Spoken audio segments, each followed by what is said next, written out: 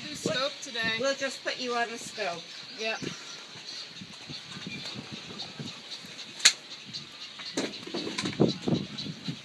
All right, Mary, come on up. We have a couple of chicks here that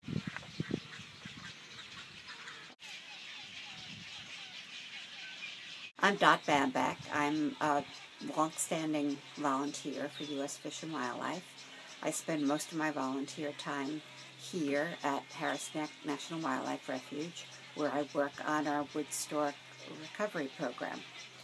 Uh, wood storks are an endangered species, and uh, we have a very successful colony of storks here, thanks to the cypress trees that they planted in the mid 90s that have grown up and now provide attractive nesting habitat for the birds. So we're in a, a 60 foot tall observation tower right now, and uh, we count these nests as they're built, and then we count the eggs as they're laid, the chicks as they hatch, and finally the nestlings as they fledge.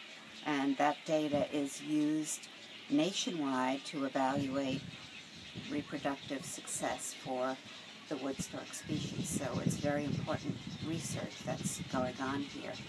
Um, the birds are doing well. Um, we expect that they will be taken off endangered species fairly soon and reclassified as threatened. But we'll still pay attention to them for another five years minimum after that to make sure that their recovery continues.